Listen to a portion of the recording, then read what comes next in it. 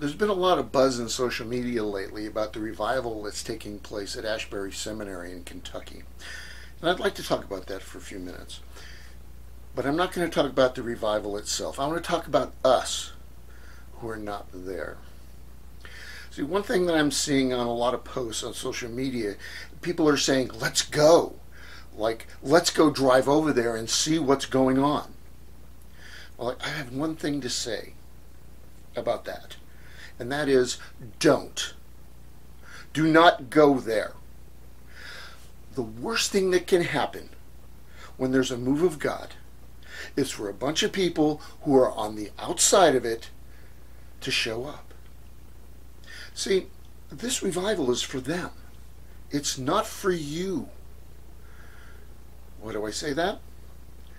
Well, see, for you to go there just to see what's going on is spiritual tourism. It's purely flesh. See, I think this revival is a good thing.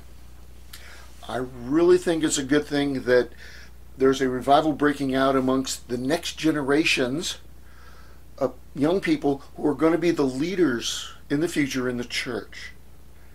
But see, it's not for you.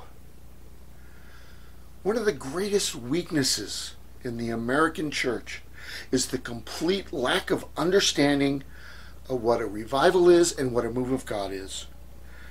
See, in the revival lectures, Charles Finney, he shows us that a revival means that we as the church are spiritually dead and that we must corporately and individually repent of our sins, confess them, get right with God, so God can make us spiritually alive again. See, revival is not entertainment. Revival is not a program so you can bring in the lost. It's for us, it's for the church. It's us admitting that we've sinned. It's us admitting that we're not living for God.